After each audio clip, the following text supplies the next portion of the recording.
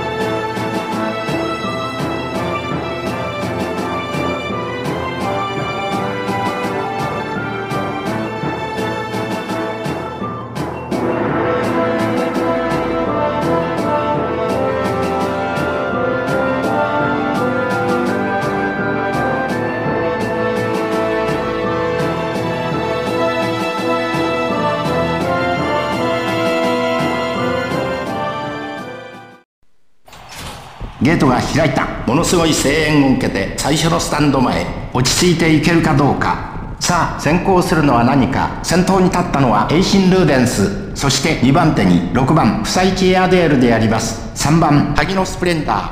そして1番人気のピンボール。うまくいっているんではないでしょうか。スティンガー。